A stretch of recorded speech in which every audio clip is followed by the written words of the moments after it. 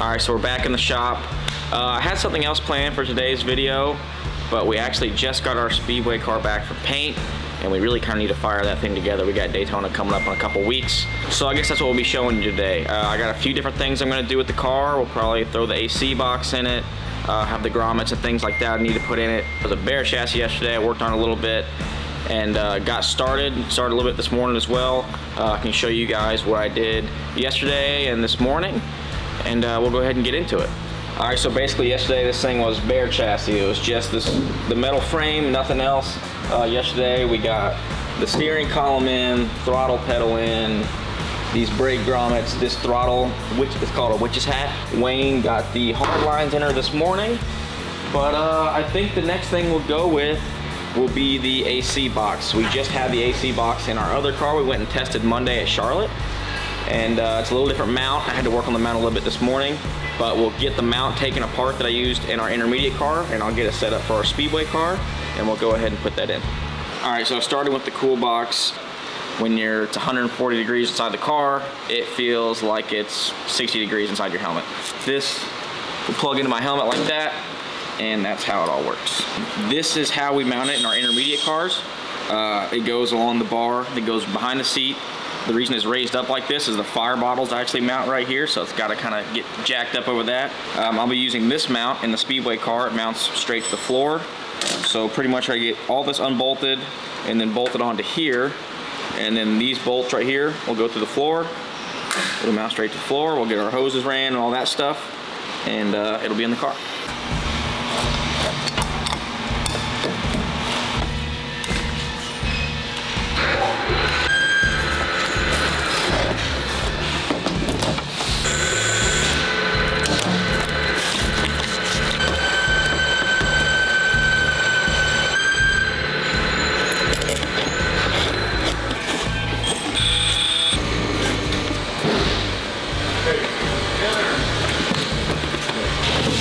Can get this doggone thing in there.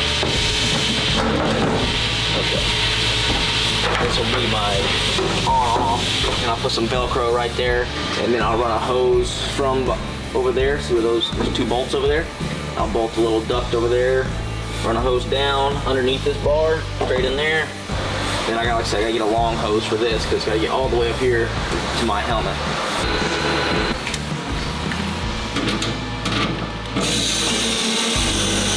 Y'all can't tell, this is my favorite tool.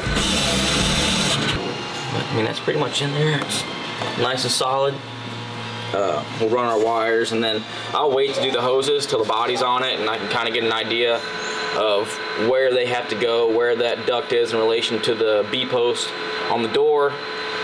And that way I can kind of maximize aero and things like that.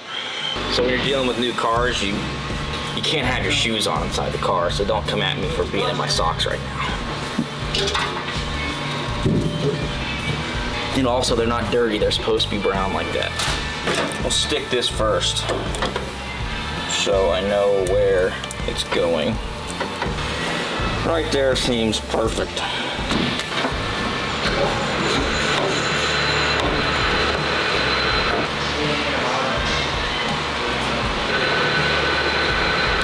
So now basically this power wire here powers the whole thing. I turn it on and off right here. When we get the dash in here and all the power, uh, there's a little power post that goes right here. And we'll run our power off that. We'll come down along the brake line and uh, power the old AC unit up. But as far as that project goes, it's pretty much done for now and we'll go on to the next thing. All right, so the next thing we're gonna work on here is these uh, fire bottle hoses. But basically this one is one, if I, if I pull the fire cable, it all comes out of here.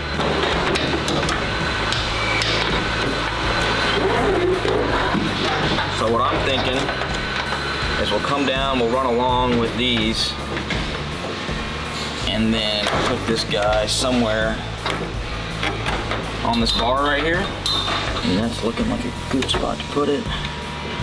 We're just gonna wing it on this one. Using pop rivets, we'll use the same thing again. Here for this. And make sure it's straight at least.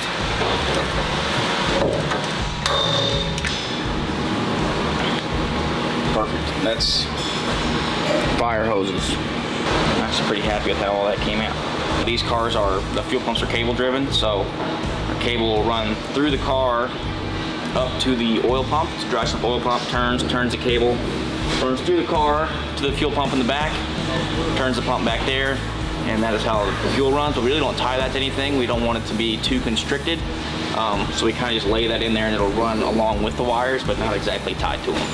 I tighten this back here. This is what kind of holds that in. I'll get a socket, tighten that up, and then we'll be done with fire bottles. The next thing we'll probably do is I'll get my grommets in there uh, for the fuel cable like I was just talking about.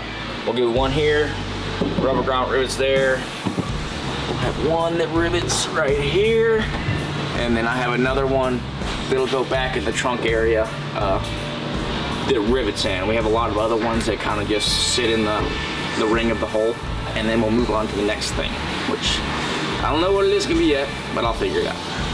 So these are the uh, the grommets we'll use. Pretty much just rivet in these holes here, rivet in. We'll go on the rear uh, package tray. Cable goes through here in the front. This one will lay on the tunnel. Cable will go back through here. This is for the hose, the fuel hose. Hose will go through here, run through the car. Start from the front and go back with these things. Uh, like I said, this is the, that's the front.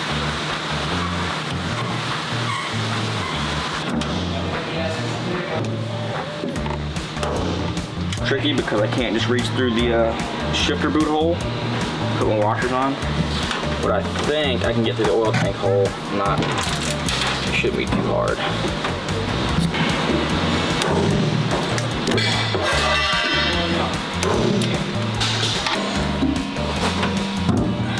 This is gonna be real tough to get the backup washers on. It always is when working in the trunk area, but I think I can get it.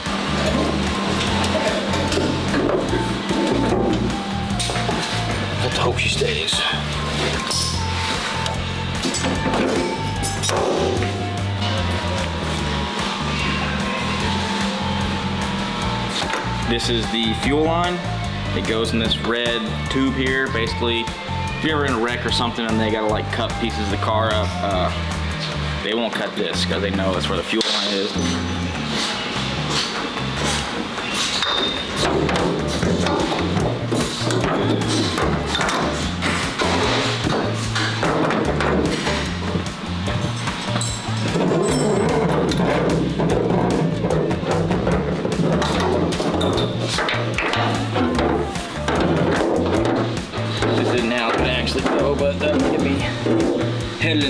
Direction. So something like that. We'll get these two bolts out so I can actually bolt this piece down and then uh, we'll get to bolting that front piece in just so it's all locked in here and uh, then I'll try to actually get the hoses going where they need to be going.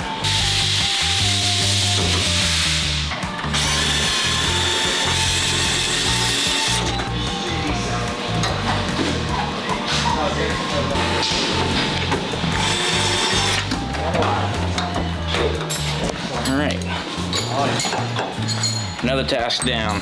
Um, what should I do next? I might seal up that gear cooler duct just because uh, I've been wanting to do that since yesterday. So I'll go cut some vinyl. I we have some uh, vinyl that's kind of like paint matched this gray. I'll cut some strips. I'll get that all sealed off.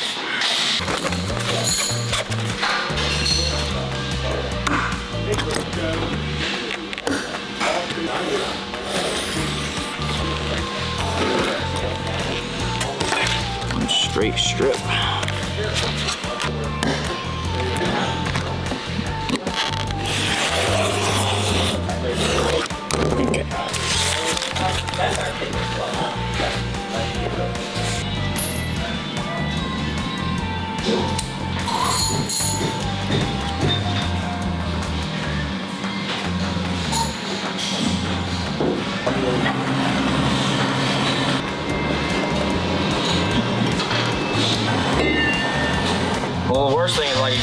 Something up and then you forget you just heat it up, then you go grab it. That's usually how I burn myself. I know a lot of this stuff might seem kind of small and irrelevant, but really when you're building a race car, it all means something. Especially like I said, when you build one that's new and just got painted, like you want it all to look as nice as you can.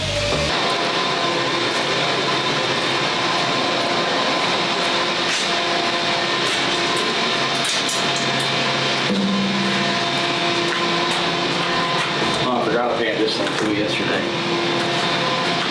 Bolt that in too. I painted this yesterday and totally forgot about it. So. This is the right side door pad, I guess you call it. It uh, separates where the door foam and everything is on the outside of the car to the actual interior of the car itself. All right.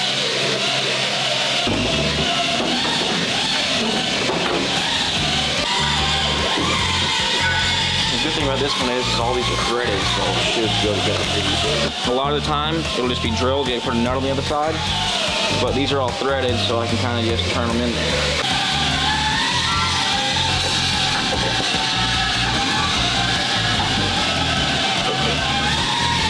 Now we'll go ahead and, uh, now they're all started, I'm just gonna hammer them home with the impact.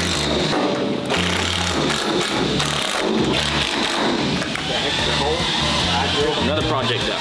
What we'll do uh, right now, I'm gonna try to get that X area over there. I'm kind of, I need to put some roll bar padding over there. Well, I gotta put a few pieces over there. And I think one up here as well, but I'm not, I'm not sure. Let's see what I can find for pieces.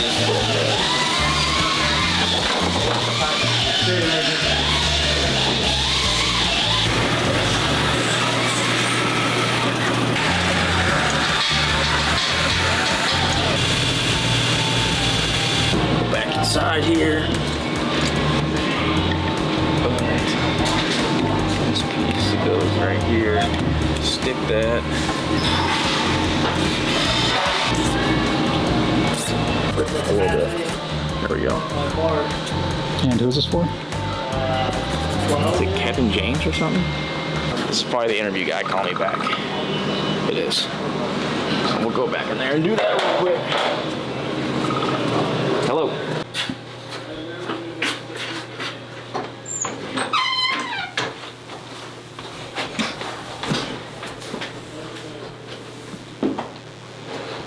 But yeah, we just gotta uh, learn from our mistakes from last year and uh, move forward.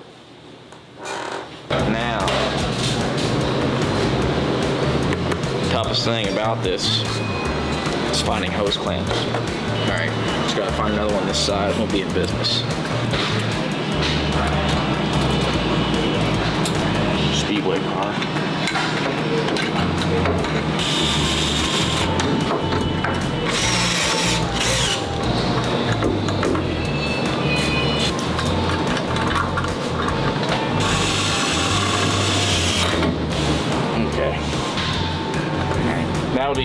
Be close enough for now, and then once I get my seat in here and a body on here, I can kind of fine tune it. I know it's broken right here, but it's the last big one I got, so it's just gonna have to do. I mean, if I'm looking out that part of the mirror, I'm probably in, got bigger problems than the mirror being cracked. Yep. Come on. Ian. Back, come here. Hey, hey. No, no, no. All right, so that basically does it for the day. Uh, I know I didn't have a no certain project for y'all, but uh, I figured it'd be kind of neat to show y'all just the, the little pieces that go into building a whole race car.